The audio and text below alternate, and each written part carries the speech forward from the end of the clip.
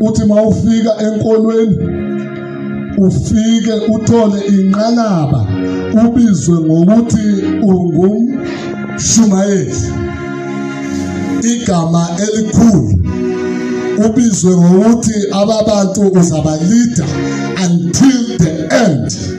Haleluya bazalwane. Ube nesikhundla esikhulu umve umuntu ethetha isilungu fluently. Kodwa unesabhi nina nicimba isilungu mhlambe is a subject. Isilungu is just a language.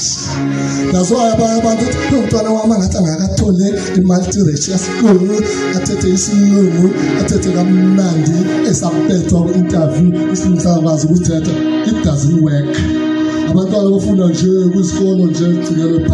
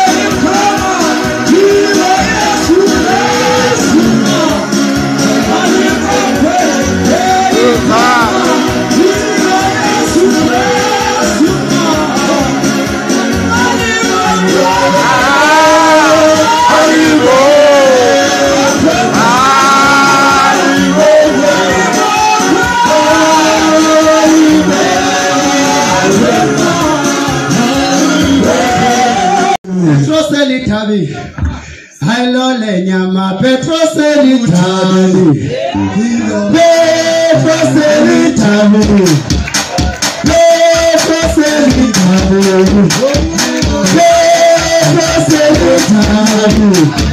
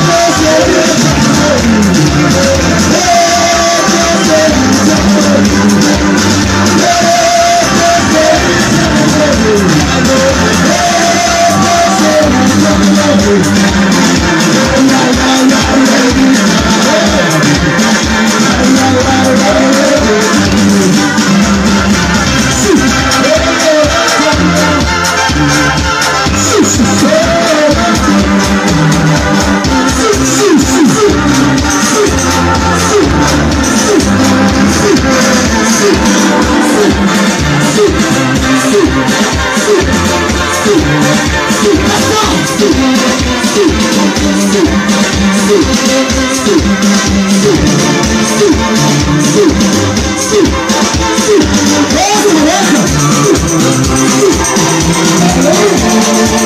welcome.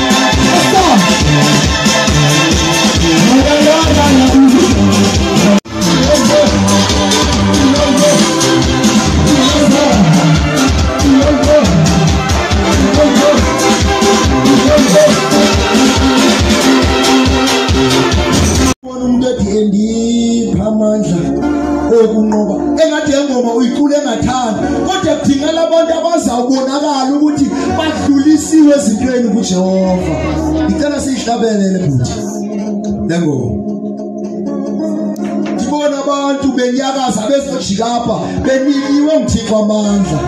Engiphe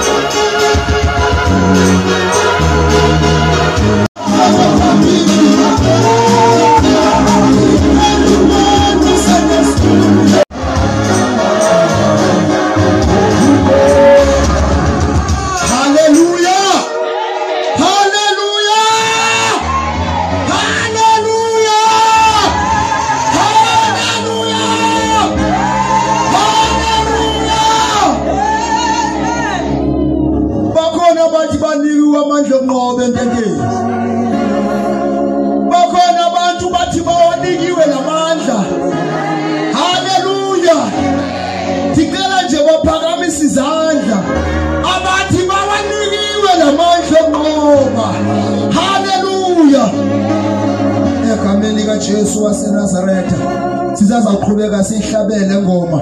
Ngiyambulisa utata umonakali egameni likaYesu.